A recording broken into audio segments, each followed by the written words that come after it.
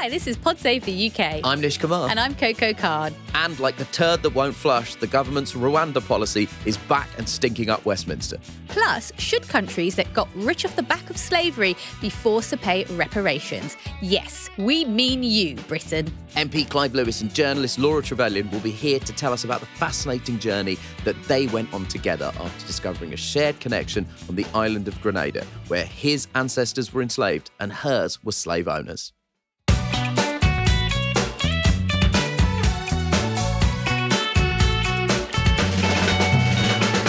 Hi, Nish. How are you? Very good, Coco. How are you? I'm good. I feel like we haven't, you know, chatted. How how's everything? Well, uh, uh, that sounds like you've heard something's gone terribly wrong in my personal life. I feel like we haven't talked. Yeah. Just, is everything but okay? How are you? Yeah, you, know. look bad. but what's what have you been up to? What, what's going on?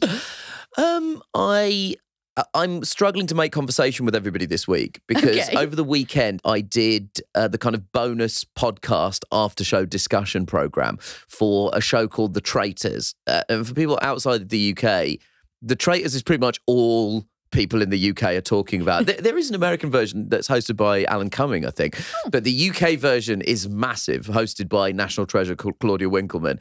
And I did uh, the podcast over the weekend that's also a TV show hosted by my friend Ed Gamble, where we discuss the latest episode. And because of that, I am two episodes ahead. Oh wow. One of our producers has already said he's not speaking to me because there's a danger of me revealing spoilers about it.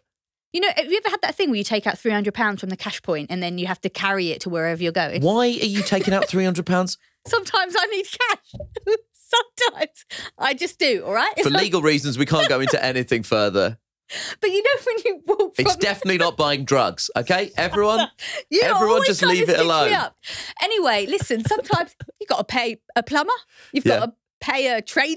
And Yeah. they like cash. Anyway, what I'm saying is, tradie or someone who trades ease.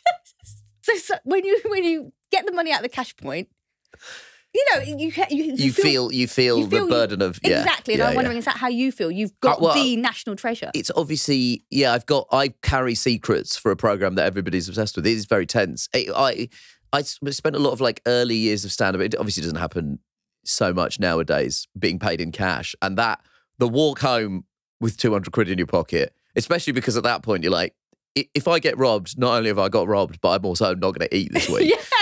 Was obviously was very tense I remember saying to one of my mates once, this is just an aside, I was like, you never guess what I figured out, yeah?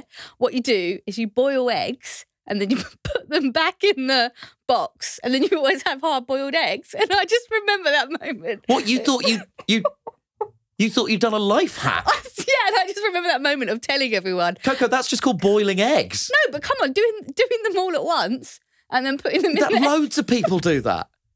L- loads of people do Well, I was really proud of myself. And just that moment where you see their face and you're like, oh no, oh God.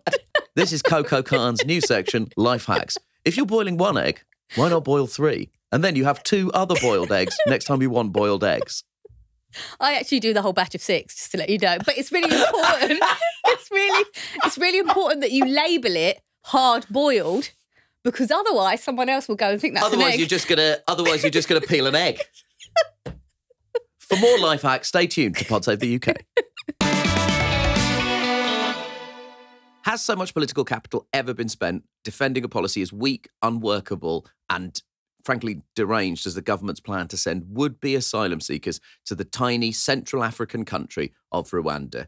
Rishi Sunak's Safety of Rwanda bill has been back in the spotlight as it reached the committee stage of its passage through the Commons.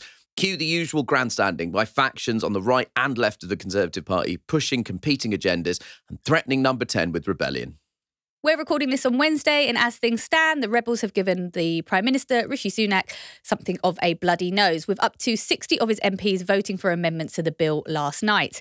But none of the amendments, which rebels think are needed to make it harder for the bill to be challenged in the courts, actually passed. So Sunak he's got what he wanted, but at what cost? Two of his party's deputy chairmen, Lee Anderson, Brendan Clarke-Smith, and a ministerial aide, Jane Stevenson, quit their roles to vote with the rebels. By the time you're listening to this, we'll know how many of them were willing to defy the party whips and vote against the bill itself. It's worth saying that siding with a rebel amendment is very different from voting with the opposition against your own leader, because that would be torpedoing the entire flagship bill and throwing his government into freefall. But Coco, I want to take you back uh, to the start of the week and the extraordinary front page of the Conservative supporting Daily Telegraph, whose headline would have had their Tory readership absolutely choking on their Monday morning cornflakes because it read that the Tories are facing a 1997 general election style wipeout, and it was based on a huge poll by YouGov, which predicted a 120 seat Labour majority, with 11 current Tory cabinet ministers losing their seats.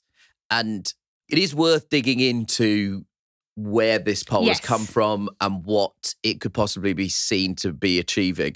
Politico has been reporting that it was commissioned by a group of Tory donors called the Conservative Britain Alliance, uh, who are working with the Tory peer Lord Frost. So we, you can actually Google the Conservative Britain Alliance. It just finds one entry on the entire internet, which is the Telegraph article. So it does look, uh, from the outside at least, like this organisation has been set up by Lord Frost, or at least with Lord Frost's backing, to try and fuck with Rishi Sunak, essentially.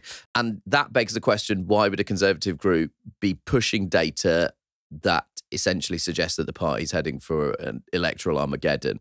So the the speculation is that Lord Frost and this group, Conservative Britain Alliance, they want the Conservatives to go more right wing. So they release this data that effectively says they need to go more right wing in order to avoid this extinction event. So that data is released on Monday. Monday is the start of what we were talking about earlier, all these amendments and all these conversations around the Rwanda bill. So it's not unreasonable to suggest that this was all timed, it was all planned, and effectively it was to scare people into voting for these amendments, to scare parliamentarians and even the constituents to emailing their MP and saying, like, you need to make this Rwanda bill be harder and tougher. You know, I think it's important to mention that the the purpose of this bill that we're discussing this week is so that Rwanda is designated a safe country. But you know, Home Office has granted asylum to people coming from Rwanda. So Yes. the, everyone that's actually working with asylum applications knows that this is completely farcical. the Eye, the newspaper, has been reporting that the Home Office has been granting asylum to people from Rwanda, even as the government is trying to declare it a safe country. So we've got, on the one hand, Rishi Sunak saying Rwanda is a completely safe country. And on the other hand, his own Home Office turning around and saying, well, obviously, we'll grant asylum to people from Rwanda because it's not a safe country for them. So it's. It, the whole thing is kind of a nonsensical feedback loop of stupidity. Oh yeah, no, it is completely nonsensical. I mean, one of the things I found, you know, really alarming about this this conversation about the poll was that it it was the front page splash on the Telegraph, right? This is the sort of stuff that consumers of media hate. The idea that press actually is no longer objective and is just the mouthpiece of whoever it might be. That is the that is the the heart of the problem with the British press, and it's it makes me really sad because it's like you're not even trying anymore to hide it. Um, Yeah. And I should point out as well that YouGov was unhappy with the Telegraph's interpretation Yeah, because we should say the poll wasn't sus, but it was the Telegraph's interpretation of the poll, and that's what YouGov picked them up on. Yes, exactly. And there's always a concern with things like this. I mean, like, you know, my father in law, again, doesn't share the politics of the Telegraph, but likes the cricket coverage. So he occasionally picks up uh, a Telegraph. And, you know, th- this front page will be on kitchen counters, it will be in the newsstand. There will be people that will take it on face value and they will genuinely believe that there are huge swathes of the British public that want this Rwanda policy to go ahead, that want us to be more xenophobic and more Little Englandy and more kind of uh, isolated. And actually, that's not 100% true. And in a way, you, you could you could argue that by filtering out these stories, they're almost manufacturing this belief that this is what the majority wants. But is it actually true? Is that the case? Well, what I would say is Rishi Sunak has made the Rwanda bill the kind of central piece of flagship legislation of his government, and it has not worked No. in terms of improving his standing in national polls going into an election year. It hasn't worked at all because I- I mean, I, I just can't escape this idea that when you can't afford to heat your house or feed your children, you couldn't give less of a shit about this kind of stuff. And I think that, again, it's the Conservative Party being having their agenda set by a very small group of its own voter base.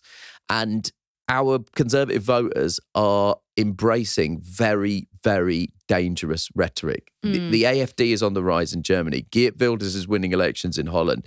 The Conservative Party should be taking a stand against the lapsing of centre right politics into the grip of the hard right, but it is not because of craven, weak minded cowards like Rishi Sunak. Exactly. And as much as we can get drawn into this kind of Westminster watching, it's important not to lose sight of the human cost of all of this politicking. With the recent stormy weather abating, this weekend saw the first channel crossing uh, for nearly a month. The Home Office confirmed that 124 people crossed the channel in three boats on Saturday. For some, though, it ended in tragedy. Five people died on Sunday in French waters after boarding a boat near the resort of Wimereux. I mean, it's just horrible. And like the government will say, we need to stop the boats, but they can't stop the boats. So I don't know. It's we're going to talk to Clive and Laura later, and they're talking about the you know legacies of slavery and and by extension the legacies of colonialism. And one thing I often think about all the time was like. If you don't want people to come here, you could maybe make their homes safe places to live Yeah. by not participating in wars or not participating in the exploitation of their resources or even just the climate. Like, Yeah. you know, stop pumping fossil fuels and carbon into the air, burning fossil fuels, sorry, and and pumping out carbon into the air to make these places more hospitable. And actually, I think here's a Tory slogan: hate ethnics, love cycling. what do you think? What you're trying to appeal to We can- racist conservative voters. we can voters trick them. We can trick them. by saying you could stop immigrants coming by getting a more green car. policies, more green policies, uh, international aid, peace, Keep Britain ceasefire. white by going green.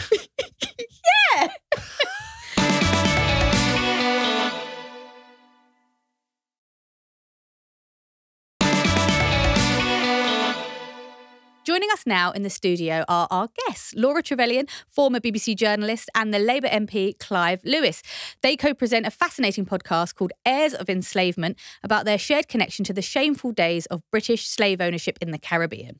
and this is, uh, I, I guess, don't call it a comeback for Clive, our very first guest. Oh, it was. actually in actually in the studio. It's nice to see you. Yeah, lovely to see you as well. But yeah, I've just come back from Antarctica uh, Yeah. a parliamentary trip there, looking at climate issues, um, geopolitical issues. So yeah, it's been all all systems go. And Laura's Amazing. joining us from New York City, Yeah, the Big would you, ca- Apple. would you like to tell the listeners what you did uh, as a British person returning to her motherland? Well, Nish Coco Club. I had to celebrate with the full English yes. this morning Hear your because you know arteries clogging up as we speak. Americans think that black pudding is the most disgusting thing on the planet. So I did. They're not completely wrong. They're not. They're not totally Fried wrong. blood. But when fat. you have it with the bacon and the egg, come on, it's Yeah. amazing. I've never had it in my life. what? No, You've never had black no, pudding in your life? The, the thought of it just just fills me with dread. Yeah, for non-British listeners. no, I'm not sure. For non-British listeners, black pudding is. I mean, it is. It's a fried blood cake. Yeah. Yeah. it's all the bits of the pig that you don't really want to eat. Listen, we absolutely love the podcast and we're looking forward to chatting about it. But before we do that, Clive, uh, we've just been discussing the Rwanda bill, and I know that you're leaving us as soon as we finish this record to go to the Commons to vote on it. Um, how do you see that vote playing out? I think um, the government, the government will get their way. I mean, we saw we saw the rebels defeated last night. Frankly, I, I was disgusted listening to the rebels. I think millions of other people in this country are. Look, there is nothing wrong with discussing immigration policy in this country. I mean, it's all we ever seem to discuss in this country since Windrush. But there's nothing wrong with that.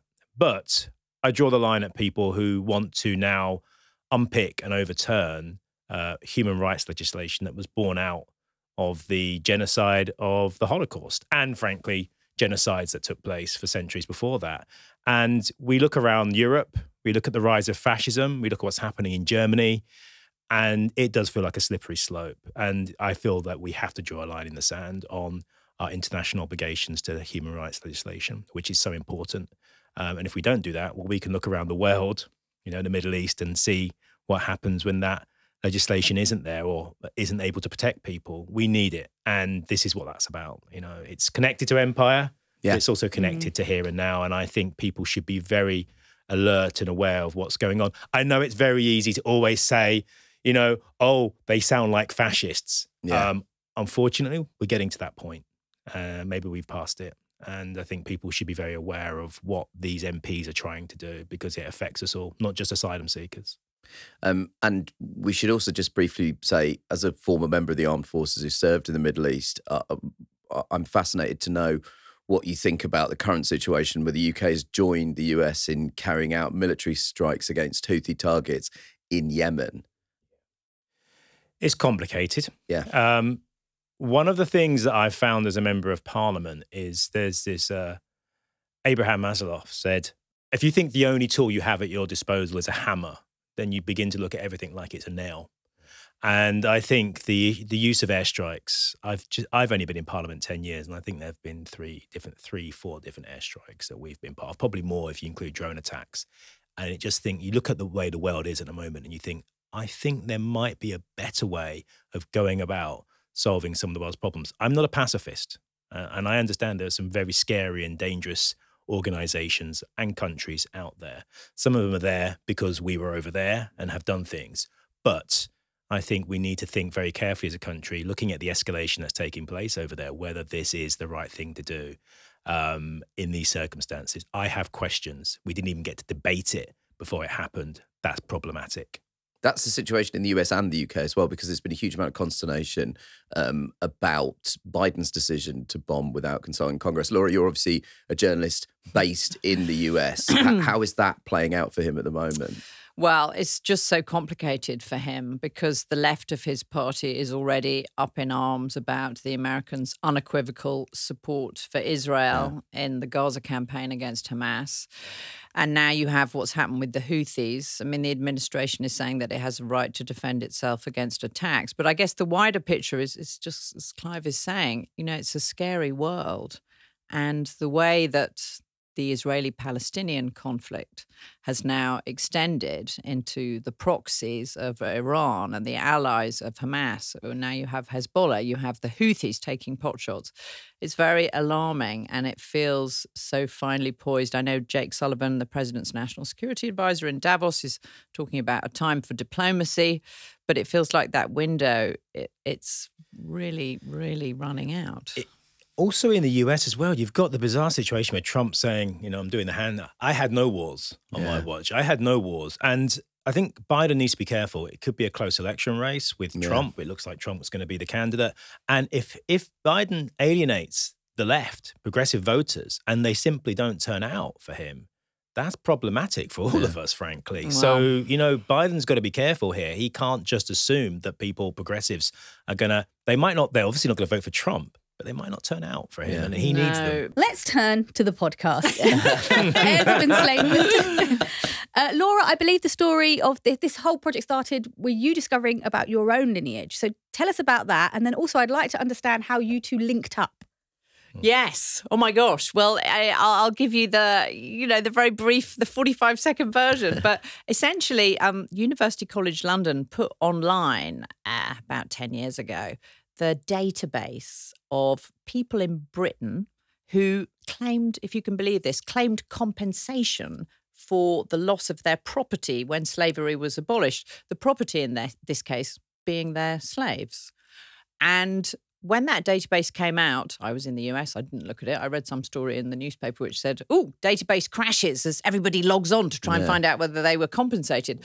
But some years later, a family email begins someone says, oh, Trevelyan's. If you log into the UCL database, it says that Trevelyan's were compensated because we owned enslaved Africans in all these plantations in Grenada in the Caribbean. And Laura, you're a journalist. You, you are supposed to be a historian. What are we going to do about this? I was like, oh dear God, I have no idea. So you, this was never spoken about in your family. No, no one had ever mentioned that because it's so classically British, under the rug. Once yeah. Mm. abolition happened in 1834, it was as if slavery had never happened. And the whole narrative is rewritten. And, oh, Britain abolished slavery. We led the world. Aren't we fantastic? Not we were up to it in our necks. Turning a, a, a tragedy into a triumph, isn't it? Yeah. And George Macaulay Trevelyan, this historian, my great grandfather, his best selling uh, English social history. So he, in his histories, he celebrates abolition of slavery as being, a, you know, a founding principle of 19th century liberal Britain. Doesn't mention that he is descended from enslavers in the Caribbean. So Clive is of Grenadian descent, and we figured out that Clive's dad was born close to the Beausejour sugarcane plantation. In fact, we went there together for the podcast, Yeah. and that was part owned by my ancestors.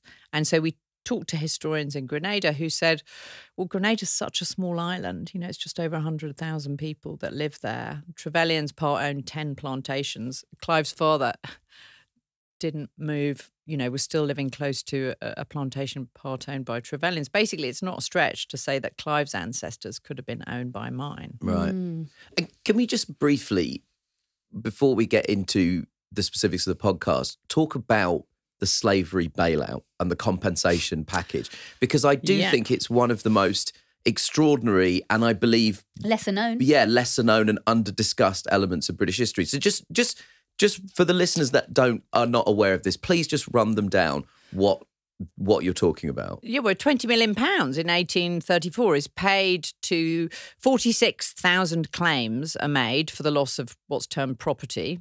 That property is enslaved Africans by all the little old ladies in Britain and the big plantation owners and anyone who's linked to slavery. Because when slavery is abolished, they can no longer have slaves. So therefore they have to be compensated. And the backdrop to it is, and Clive's a parliamentarian, then as now, in order for there to be parliamentary support, there needed to be this compensation package trailed because the West India interest, as it was known, meaning the planters, meaning the slavers, basically, you know, they were very they were a powerful lobby.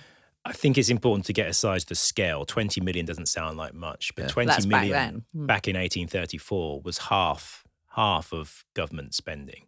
Um, Yeah. So that would be Forty percent, I think. Yeah, forty percent. Yeah, of just 40% of the. GDP. So it would be it would be hundreds of billions of pounds. So they had to take today's out a massive loan that was only paid off in 2015, and it was only a tweet from the Treasury, Yeah. which alerted Which was then Britain, deleted. Britain to this fact. It was someone merrily hastily tweets, deleted. Someone this may You know, not be a good idea. "Yo, that we've we've paid off that of the, loan. Many of the victims of the Windrush scandal have been paying back uh, their own. Have been paying off So the debt that was British Yeah. taxpayers paid off this loan that was taken out to benefit those like my ancestors who had lost their property, uh, i.e., lost the right to enslave people when slavery was abolished. We've all paid for that. Right, you mentioned the uh, Treasury's tweet, and it reads, "Here's today's surprising Friday fact." like it's so like, ooh. Oh, It's like a Friday fact is something like, "Oh, did you know salamanders can grow back a tail?" Do you know what I mean? Like that's my Friday fact, not this like uh, uh, national stain or national shame. And it just said, "Here's today's surprising Friday fact: Millions of you helped end the slave trade through your taxes." and of course, a lot of people were like, "I'm sorry, what? what? What are you talking about?" Yeah. For a lot of people, that was the first time they realised So- that so- that had happened. so part of the part of the really interesting thing about both slavery and empire is the deliberate forgetting that's Yeah. taken place and it's a deliberate thing because the reality is if you deal with the issues of empire you have to talk about slavery you have to talk about why there is wealth inequality in this country why there are people with great wealth vast wealth institutions individuals uh, and why we have the kind of almost feudal um, constitution that we have. And empire opens all of that up. So they want to put it back. They want to say simply, oh, you're only interested in digging up the negative past. You don't want. Actually, it helps you. It actually helps you come to terms with why we are the country we are today and how we can improve ourselves, how we can take ourselves forward. Right. We're trying to look at the current day legacies of slavery, which is why we went to Grenada and to Barbados. And when you go to Grenada, so there's an epidemic of obesity and hypertension. And that is related to the poor diet that came from slavery and the amount of sugar consumption. And Grenada's national dish is called oil down, and it's it's pig's feet and coconut milk and other things which are incredibly unhealthy because this Sounds was like black the pudding. right exactly. Laura's like, mm. Actually, I did really like oil down, but this was I don't like it, so I'm being consistent. You're- at you're least. I'm being not consistent, biased in any way. But it's the one pot dish that the enslaved made. Yeah. And so there are the health consequences today in Grenada from that. The fact that poverty and illiteracy were legacies of slavery. There are still pockets in rural Grenada where people can't read Yeah. today, which is why, you know, the Caribbean has a 10 point reparations plan, which Clive and I have been talking about and trying to advocate for. And it begins with a complete apology for slavery from the former colonial powers. And then there's a call for investment in health and education.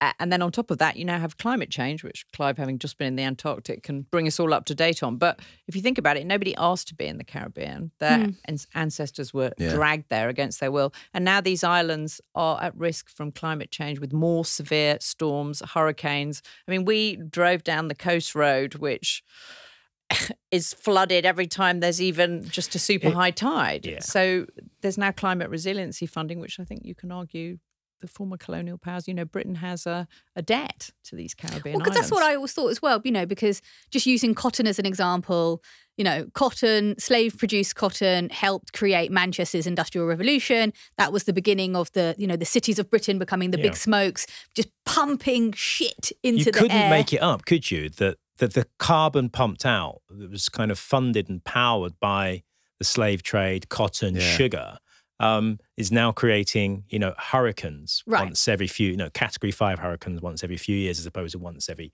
half a century.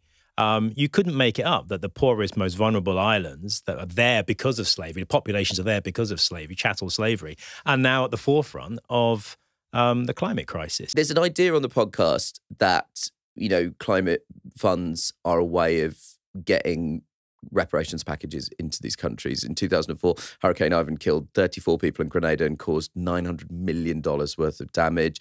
There's also an idea that debt relief could be a way of getting reparations to these countries um, and a way of dealing with legacy for the slavery. But there are points where both of you seem unsure about that.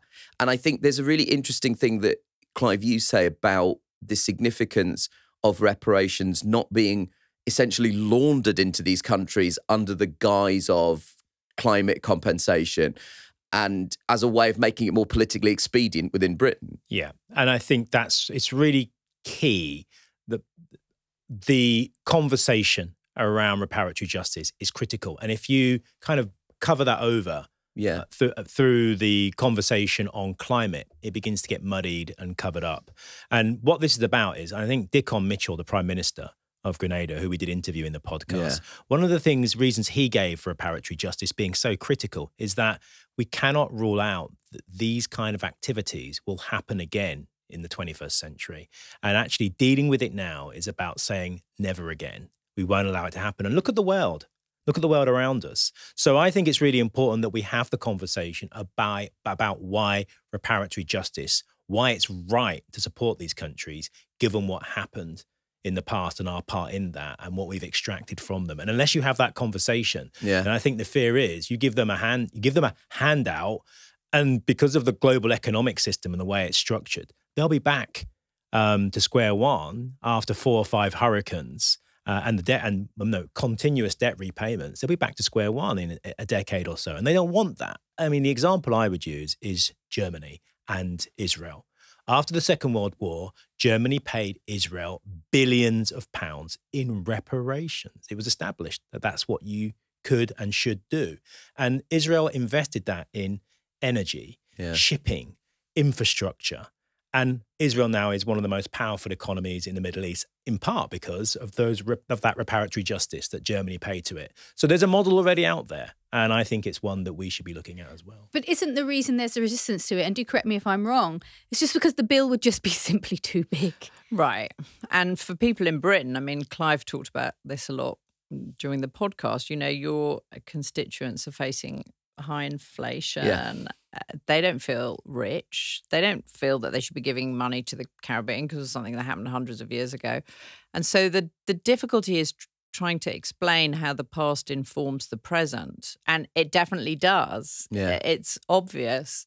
And there are also just all of the social and psychological costs of slavery in Grenada and and the tragedy of the Windrush generation and how people were persecuted. I mean, one of the most interesting things about the podcast to me was Clive's father, Yeah. Tony, because he was born in Grenada, comes to Britain at the end of the Windrush generation because there are no opportunities in Grenada, makes it here, en- encounters discrimination in Britain, but battles on through, becomes an incredibly successful trade unionist, now has retired to Grenada, where he's organising the fishermen, of course, because he's a trade legend. He's a trade unionist. But his story and Clive's story and mine, I mean, it's the story of, of modern Britain. And for Tony, the double diasporization of him. And you said it was so interesting. You said, My dad's sounding so African now, he's back in Gouyave. Yeah. They do. like It's he's a- closer to his ancestors. There's yeah. just something about it which is really mind blowing, and and the the fact that you know the West Indies were regarded as the slums of empire. That's what David Yeah. Lloyd George Yeah. referred to them as, and people had to come here because there was no opportunity. All of that is really underappreciated in Britain, and the harm and the hurt.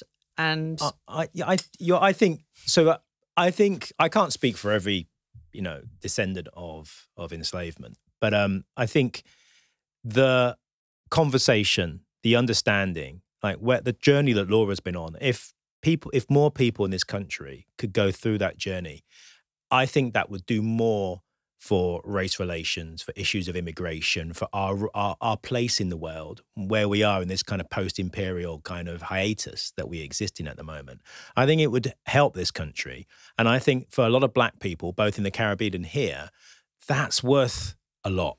And Yeah. so it doesn't have. It, I mean, it could be billions and billions, but I think that understanding, that kind of coming to terms with that, and that healing process is so important because it will color relations, it will color economic relationships, it will color racism, the immigration debate. But if we are talking about money, Arley Gill, the the chair of the Grenadian um, um, CARICOM reparations kind of uh, committee, he, I asked him the question, well, my constituents, you know, many of them aren't going to be able to pay their energy bills. How are they going to pay? And he said, I agree. They shouldn't be paying it per se. He said, but the people who extracted and exploited us are the people who are extracting and exploiting them mm. now the corporations, the banks, the wealthy, the financial institutions. And he said, it's about making sure that they pay their fair share. And he said, the people that you need to be kind of getting a better deal on when it comes to wealth distribution and the same people that we're looking for. It's mad So- when you follow that line. I mean, I only learned recently from a Burna Boy song um, that Unilever had links to slavery um, and was part of you know colonial projects that were in West Africa and the Caribbean. Unilever. So the companies we would know them. They're household names. Aviva. It might David, uh, uh, the historian David Olusoga. Olusho- Olusoga. He basically, in a program, explains that one of the families that got received the biggest payouts, the son went on to set up an insurance company. Uh, that insurance company then merged with another insurance company, Imperial Insurance, or something like that.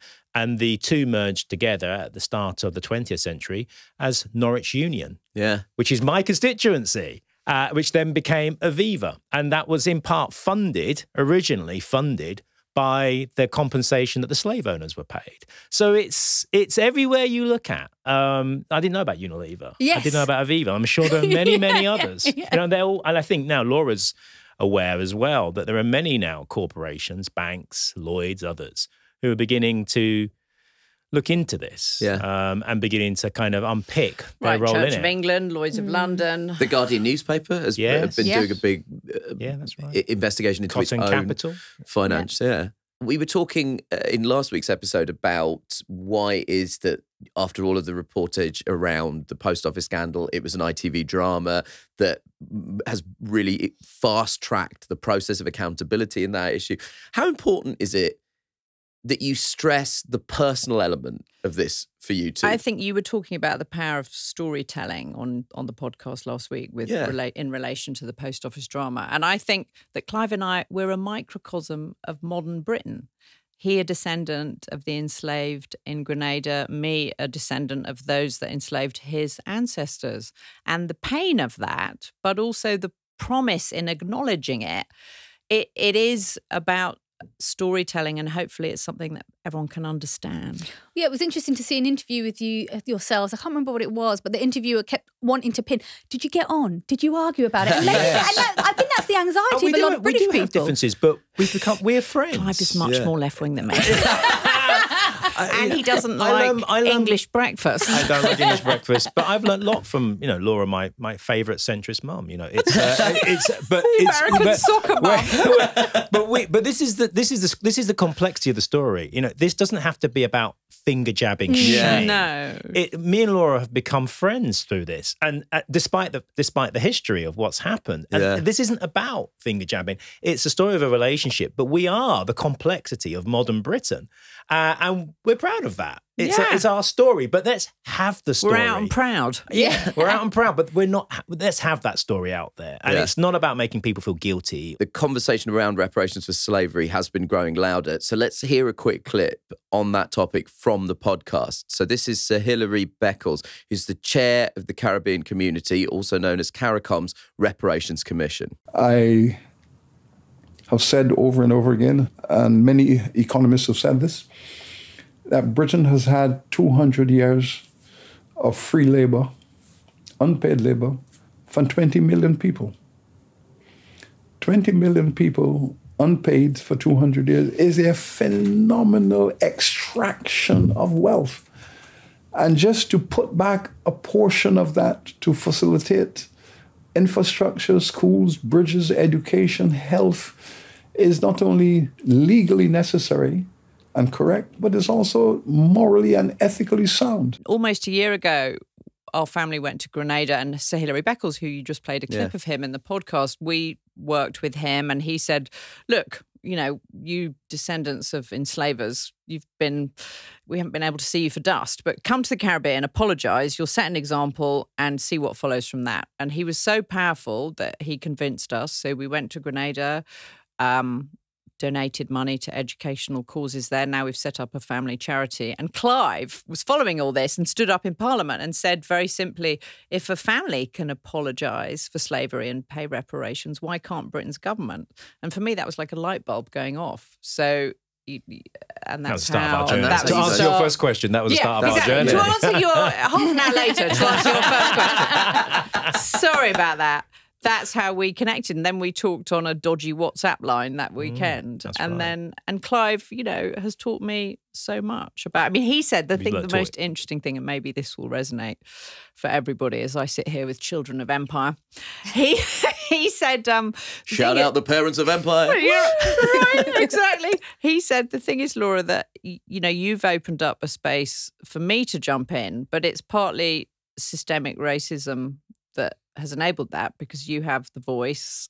You know, White as- privilege. It's Yeah. that, mm-hmm. pri- that that links yeah, like the world's most ghastly phrase. But yes, if anybody has it, it's definitely me. And Clive just helped me to understand so much, really. Hmm.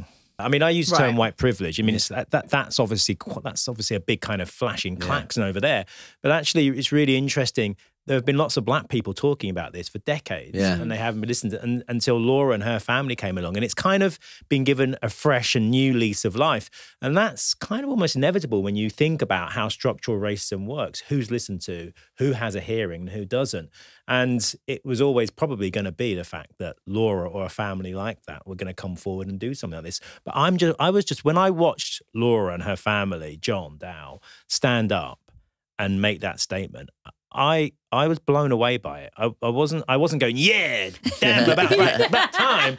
I was just absolutely amazed that people would do this and, and, mm. and, and take, you know, and put themselves forward to do that. It's not been easy. It's not been an easy journey. But that's the sto- power of storytelling, isn't it? You know, thirty years at the BBC, if you can't hold, you can't hold other was people your to destiny. account. It was your if, you- destiny. If you can't tell the truth about yourself, you can't tell the truth about other people. So, coming from that tradition, when Hilary Mm. Beckles said, "If you set an example, it will be meaningful," I felt immediately that he was right and that we should do it. And who the heck knew what would follow from it? But My, know. my, my final question is uh, when you guys go out for drinks, Laura, do you get the rounds in? she does. no, we get the rounds in each. You know, we're, we split everything we split 50 50. everything. yeah. I'm a huge fan of uh, making rich white people buy me drinks. and every time they, they, they're, they're reluctant, I go, partition. That was pretty bad. that was pretty bad, guys. I think you have to set a time limit on it. 2024 is the year that everyone pays for their own We all pay for our own drinks. Well, Clive, I just got a push notification about a very important vote coming up. But I think you need to go Yeah. that's probably, that's probably my whip calling. The phone is going, and the back phone's going next to me. Get Yeah. yourself back in here, lad. we must let Clive go to attend to the business of government. Um, but in terms of the process of storytelling, uh, I would really urge people to check out the podcast. It's called Heirs of Enslavement, and I hope it's the starting point for uh, a more enlightened conversation on this Thank you. subject. And Laura and Clive, thank you so, Thank you so much, for joining us today. Thank you Thank both you. so Thank you much. very much. Great.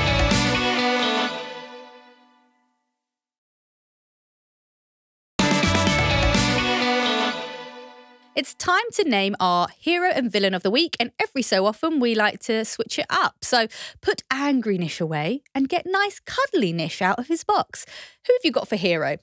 Well, as much as it pains me to say this as a Manchester United fan, um, I have picked the fans of Liverpool Football Club. Oh, This is a real this is a real wrench for me. But it is an amazing story.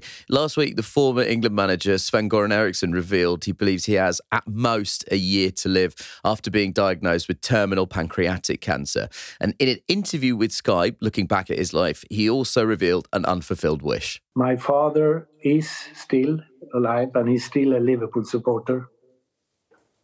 And um, I'm a Liverpool supporter as well. I always been. So I always wished to be the manager of Liverpool. And that will not happen for sure. But I'm still a Liverpool fan. So, after revealing his love for the football club and his dream of managing them, Liverpool fans have started a campaign on social media to get the club to make him manager of the Liverpool Legends team for their charity match against the Ajax Legends at Anfield on the 23rd of March. Uh, the Liverpool Echo's already got behind the campaign, and Liverpool legend Robbie Fowler has indicated that a call had already gone into the organisers about it. So, it's over to you, Liverpool FC. Uh, watch this space. it's a genuinely nice story. M- much as it pains me to say this, the Liverpool fans are doing something genuinely nice. And I would say, even if it doesn't happen, which it seems absurd, it feels like that should happen. But even if it doesn't happen, it's nice that Sven, as a Liverpool fan, got to feel the love from his fellow Liverpool fans. Um, Coco, get your angry face on. Who's our villain of the week? Well, you know how I feel about the trains, Nish. Yeah. I uh, have a, a, a separate well of rage about uh, the trains in this country. And so this week, I'm going to point the finger at Avanti West Coast. So it's been reported that Avanti managers joked at a company meeting, joked about receiving free money from the government and about performance related payments being too good to be true. One slide at an internal presentation was titled Roll Up, Roll Up, Get Your Free Money Here, and described how the Treasury and Department for Transport supported the firm with taxpayers' money, provided third party suppliers and inspections, and then paid Avanti fees on top. The RMT union has called the presentation, first revealed by Novara Media, as a disgrace. Fair play. All this from a firm, I should point out, that has a unbelievably poor record of cancelled and late running trains. It slashed timetables in December and has seen punctuality decline and cancellations worsen in recent months. Of course, they don't care because they're going to get paid anyway. And if they do happen to meet their performance targets, well, then it's just more money for them. Avanti has confirmed the contents of the presentation and called it regrettable. Doesn't quite feel strong enough. Regrettable. um, before we go, we've just got time to fit in some correspondence from our listeners. Here's a voice note that's come in from one of our American listeners. Hi, Nish and Coco. My name is Ellie. I am calling from Oakland, California. Uh, in addition to being an avid Pod Save the UK listener, I am also an avid reality TV watcher. Um, and it's for this reason that I'm calling to ask about John Bercow, um, who appeared on my screen this week in the US version of the reality show The Traitors. Um, I'm calling not only as an uninformed American wondering who this man is, uh, but also to ask if you have any thoughts about him, uh, either in general or in particular about his choice to appear on an American reality show. Uh, I love your show. Thanks so much. So here's a clip of John Bercow on the show being interrogated about his breathing. There was extreme intensity in the room, and I was pleased it was at an end. I've never breathed particularly well. Okay. I was asthmatic in my youth. I don't regard myself as asthmatic today. But when you took the mask off, you said, I have asthma. But you just said, I was asthmatic as a child. That's absolutely true. I was asthmatic. Is that what you told her? When you told me you had asthma. Look, is asthma a lifelong condition? I don't regulate. That's not the question I'm asking you. If you ask me, do I use an inhaler? I'm am asking you, did you say that to her? I'll be absolutely honest. Well, that'd be good. I don't remember the exact words I used in response, but what I do recall. You're answering this just like a politician. Well, I mean, that, f- forgive me, but that's just a But term you're not of answering the question. Wow. So Is he we're a back on the traitors. We started on the traitors and we've ended on the traitors. yes, John Bercow is in the American version of the traitors. I should say for British people, he hasn't just wafted over to America and gone into the normal traitors. I- in in America, the traitors is a celebrity show. In Britain, it's ordinary people, like essentially playing a game of werewolf or mafia whatever, however you play that game or whatever you call it by. But yeah, so for context, John Bercow was uh, a British politician. He was also uh, not just an MP, but he, he was actually Speaker of the House of Commons from 2009 to 2019. And he, he did become something of a kind of celebrity here because of the amount of coverage of Parliament, because he was the Speaker of the House through all of the debates around Brexit, and because he had quite a distinctive way of calling the House to order, where he'd go, Order, order. It, he, he, s- he sort of became a kind of minor celebrity. Right. In answer to your question, we think this is really weird. And it's basically like Nancy Pelosi turning up on Celebrity Love Island. Yeah, no, that is it is very strange. I would just say that generally what I've learned from most American films and TVs is that if they are a British person, they are the villain. That is generally he's the traitor, is what I'm saying. I don't know. I, I have no idea. I've never seen this show, but I think he is the traitor. Uh, it does look like he was panicking under pressure. I mean, my favorite bit is when he said, um, "She's like, oh, you're you're answering like a politician. I mean, he is a politician. That's fine. Uh, it's like if someone said, okay, you're being a journalist or you're being a lawyer. Yeah. You know, which has happened to me loads of times. If I'm at a dinner party and I ask too many questions, people are like, okay, all right, you don't need to be a journalist. I don't think it's like wrong. And I just loved how he said that is you're being abusive now. This is a term of abuse. I didn't know politician was term of abuse. The only thing worse than somebody saying you're really behaving like your profession is when someone goes, sorry, you're a comedian. Um, let's just dip into the mailbag. Look, let's not beat around the bush here, Coco. Yeah. Against all reason and logic, we have had our first applications to join the Podshag the UK dating club. For anyone uh, who doesn't know what we're talking about, uh, Coco suggested uh, last week because dating apps are so awful, we start a kind of dating app for people to meet like-minded people. How better than to do that than to bond over their shared love of this podcast? And I, as a joke, called it Podshag the UK.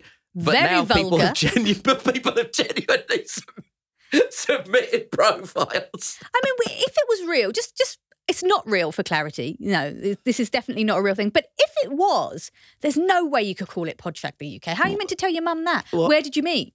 Podshag Podshag the outrageous. Well, look, here's the thing. We, I am going to read uh, read this letter out. Yes. I, I, I don't know how, with all the kind of data protection, we would possibly go about setting two people up, but.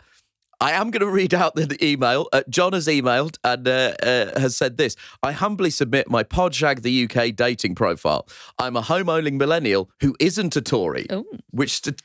Coco God's interest has picked up. Oh, I see. Married home owning millennial Coco Khan's interest has inexplicably been peaked. I've got friends. Uh, I'm a home owning millennial who isn't a Tory, which statistically makes me about as rare as a unicorn. and I can send Cocker Spaniel pics on request. I don't think that's a euphemism. I think he, he actually has a dog. what more could a woman possibly want? And then in brackets, this isn't a joke. Please set me up. Dating apps and Tory Britain have been horrendous for everyone's mental health. Looking forward to the tsunami of matches. And that's from John and his spaniel Maya from South Wales. So I guess if you live in the South Wales region, I- email in. No, no, don't email in. this is not an area we can go into. But John wrote quite a funny Yeah, no, it dating nice. profile. I feel so conflicted right now. Have you ever set anyone up in real life? Have no, of it? course I've never set anyone up in a, real it's life. It's a weird, as I've only done it once or twice. Yeah. And you you feel genuinely yeah, personally that's responsible. exactly why I've never done it. This, this would be a nightmare for us to get involved in people this. ask me if I have single friends. I'm like, no, I do. Even if you do. I do. I've got loads so of single rude. friends. Well, I just, I just, I don't want the the Oh, strain you want to of it. you want to hoard the love because you're want to happy. You just hoard want to the hoard love. the I, happiness. I just don't want to be put under the pressure Yeah. of having set two people up. I genuinely don't know how South Asian aunts manage it. They're constantly trying to get people married. I don't know how you can live with the stress of that. Well, the, the, the main thing is to tell people to lower their standards. That seems to that's, that's the main way you do it. But I guess the thing that is that I mean, this is just a digression now. But like you know, I've got loads of mates who are lovely. Yeah. But in relationships are different people. Yeah, So I couldn't right, be right. 100 percent sure that who I put forward was. Anyway, whatever, I digress. Um, so I've got one too, though sadly it's not a match for John. Sorry, John. This is from Jay in Yorkshire. And the profile reads Hopeless romantic lesbian, 24, terrible barista, giant fantasy novels nerd, looking for someone to go on cafe and bookshop dates and watch Nish's stand up specials with. Oh, that's genuinely nice. These are funny and charming people. How can these people not be finding love? Also, thanks for getting a plug in for my stand up special, Jay.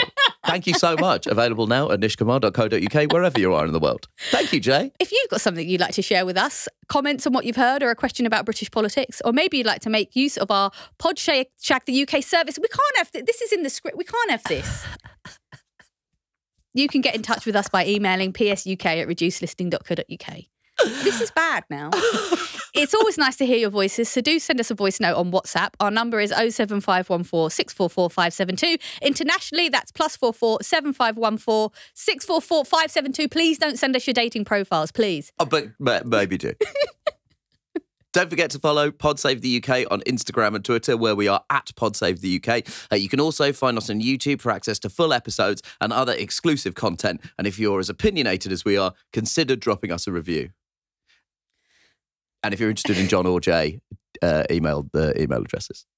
Okay, uh, just for clarity, you individually are responsible for this. I can't believe I've said I don't like You setting people up, individually and are now going I'm do it. trying to use my own podcast as a matchmaking service. Legally, I am not responsible. Just I- wanted to say that out loud. I told you I'm middle aged and I have genetically Indian. It's just. Even though my rational brain is fighting it, my urge is to You're marry like, oh, it's going to be so good. It's going to be so good. Uh, Podsave the UK is a reduced listening production for Crooked Media. Thanks to senior producer Musty Aziz and digital producer Alex Bishop. Video editing was by David Kaplowitz and the music is by Vasilis Fotopoulos. Thanks to our engineer David Dagahi. The executive producers are Anishka Sharma, Dan Jackson, and Madeline Herringer, with additional support from Ari Schwartz. Remember to hit subscribe for new shows on Thursdays on Amazon, Spotify, or Apple, or wherever you get your podcasts. Why are you looking at me with the look of I hope you're happy with what you've done? I'm just, I'm just to sit back and watch this car crash. I'm just to sit back and let you do it.